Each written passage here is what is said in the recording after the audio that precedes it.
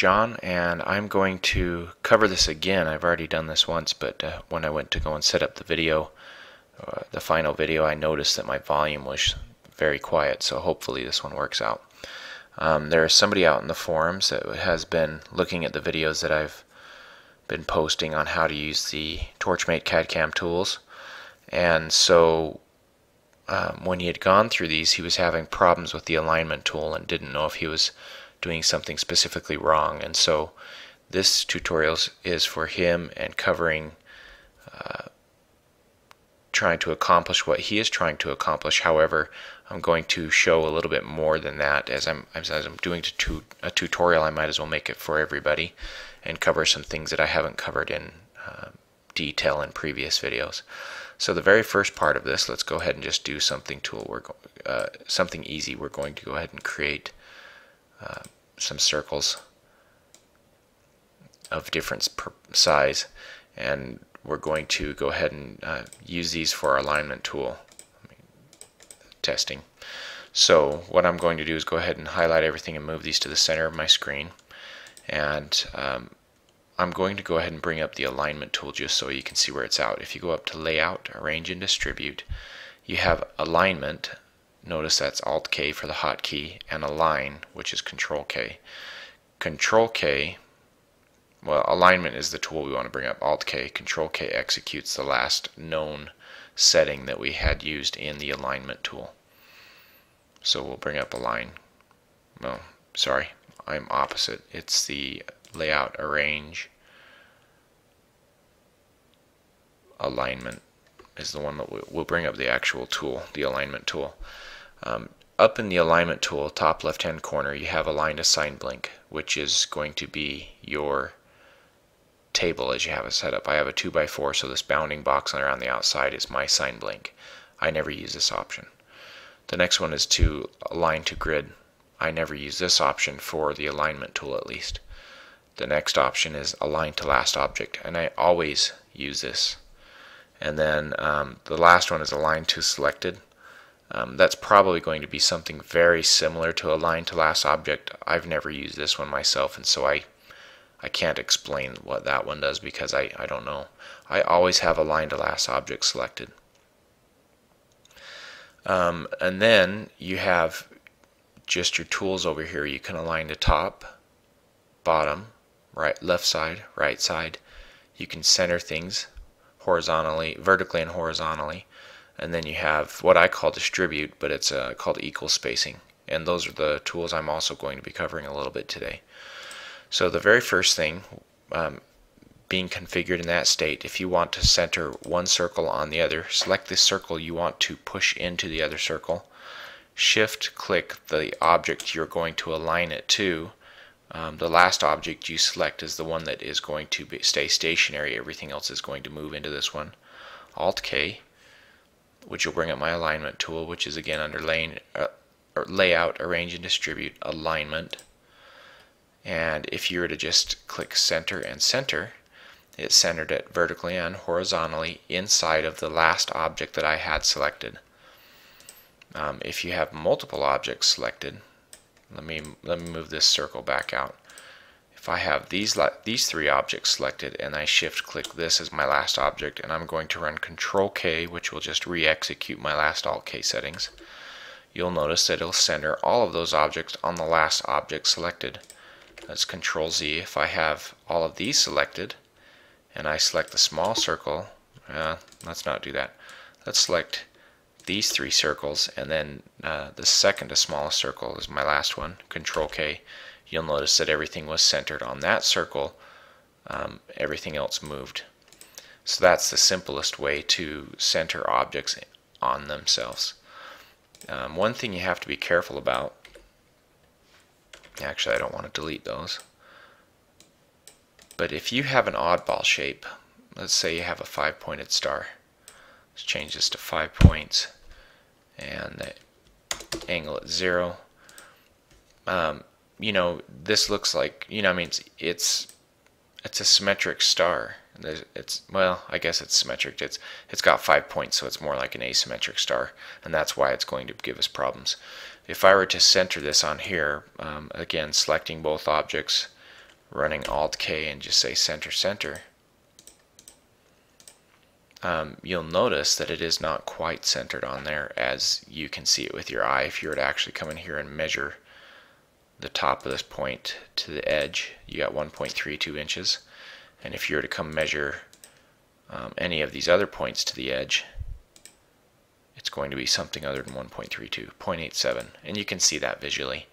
Why is it doing this? Well, each object has a bounding box around it if you select it you can see this bounding box and you can see all of the corresponding nubs which actually correspond to this toolbar up here. If I were to highlight this, pay attention to all of the nubs, the outside and then the center. If I highlight the outside object, you'll notice that the outside object has a uh, larger area and so the nubs incorporate that whole area. However, the center of that area is identified by the center nub as I select between these two, notice that all nubs move except for the center nub. So when you're centering things, it's based on the bounding box and the nubs that are within those bounding boxes. Um, for something like this, in order to center it, you would probably, in order to visually center it, you'll probably have to just move it manually. Um, there are probably other things you can do, but um, I want to make this video a little shorter than than it would be if I were to go into those uh, types of options. So as you can see I centered this just with my arrow keys moving it up and it looks really close. I mean if you're going to cut this out with plasma and then go measure this I doubt you'll notice any difference or any difference in the measurement if you eyeball it close enough. Now um, I do want to cover one of the very first objects I had to create for my own table and that was my slats, slat holders for my water tray. And what I did, um, this is when I was learning how to use it, but um, I created, I'm, I'm just going to make this object up, it's not going to be accurate into scale, but I believe it was 2 inches tall, 46 inches wide. Um, and then I, I put in some 3 16 inch gaps. So we'll say these are 363 divided by 16. 3 16 inch wide, and I think let's just make these 2 inches tall. 2 inches tall also. Now if I zoom in on these, highlight F7, F6, that zooms in and out to whatever you have selected. If I highlight this, um, there are a couple of ways I can approach this. Let me let me duplicate all of this because I am going to approach this in two different ways. The first way is to well, let's just duplicate this, Control D. And in fact, I'm going to highlight these and Control D those a couple of times. If I were to take all of these objects and then shift click the object I want to align them to, I can do an Alt K, bring up my alignment tool, and sorry for my pauses, my mouth's getting dry and so I have to swallow. Um, if I want to center these on that object and then do a distribute, you notice nothing worked. I must have deselected something. Let's do that again. Alt K, center, and I'm going to do this equal spacing.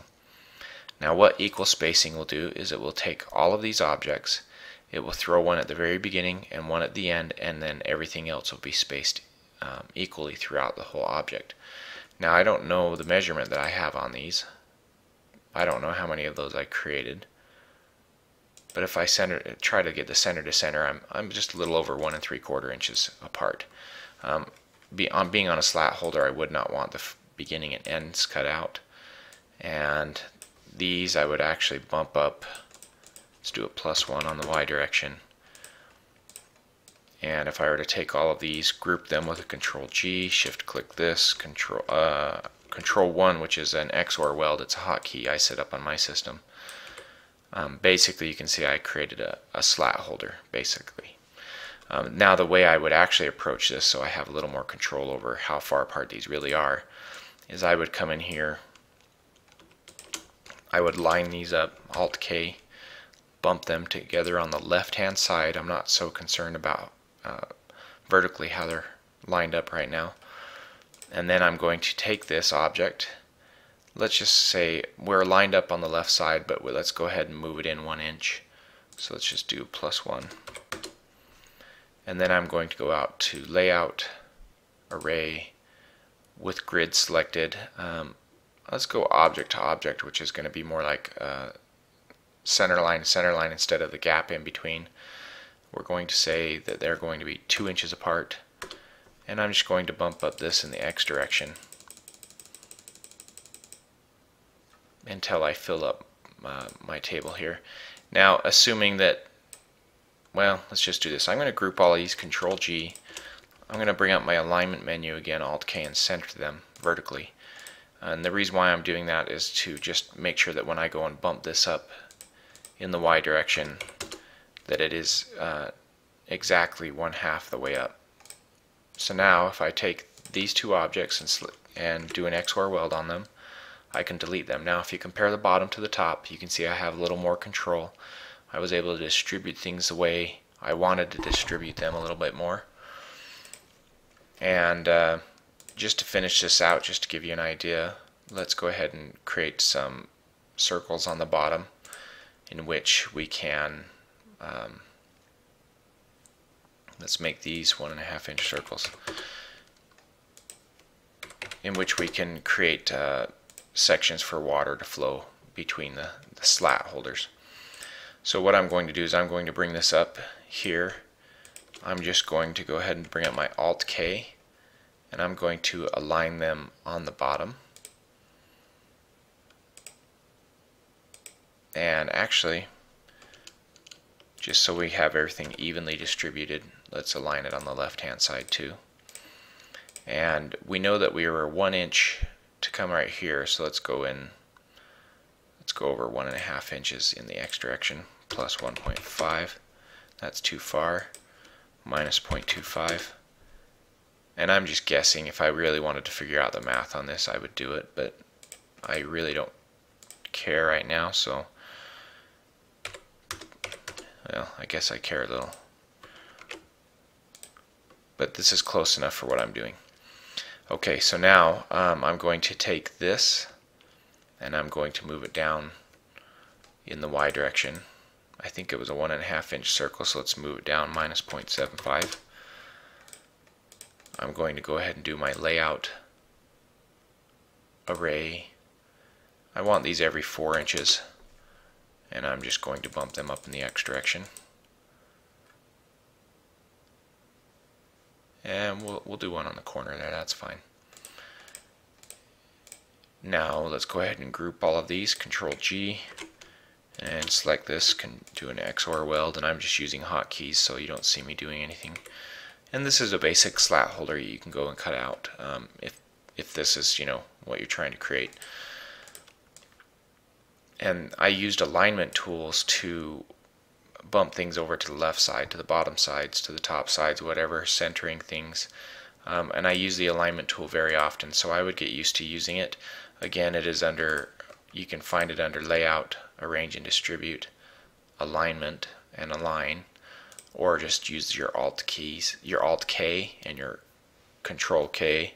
Um, you can change those if you want to something that's a little more useful, the hotkeys but um, I, am just used to using the default and so control K and alt K and you can use those alignment tools. So again to summarize um, I'm not going to go over that main piece again but if you want to center in two very simple objects um, and let's just throw a square in here for fun. Oops control Z. Get rid of that. I was holding down my shift key which in most programs will actually um, create a proportional square and this one.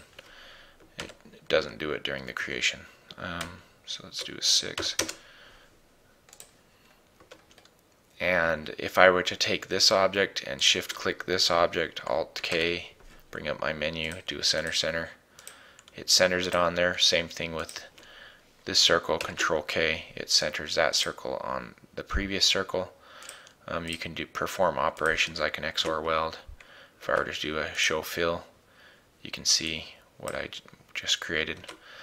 Um, and then I do want to bring up a plug for um, something I've, I've created, hotkeys.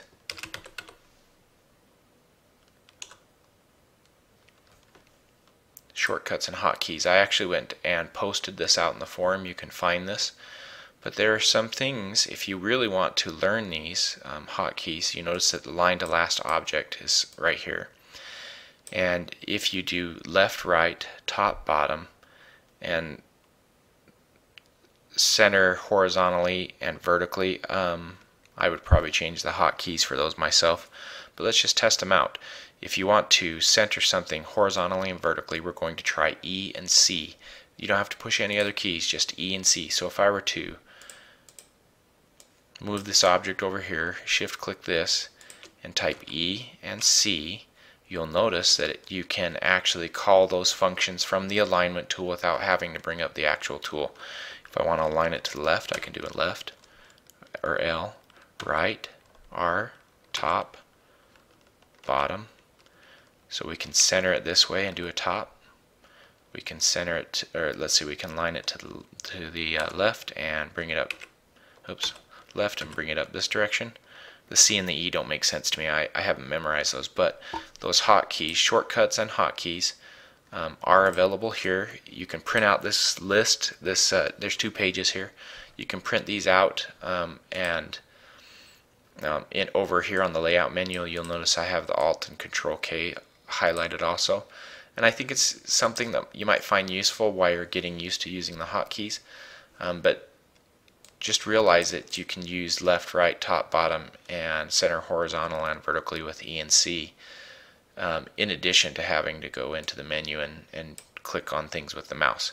I thought that was a nice option and I hope you found it useful. Anyway, thank you for watching. If um, any of you have any further questions or you're running into problems still after viewing this, let me know and I'll see if I can clarify anything.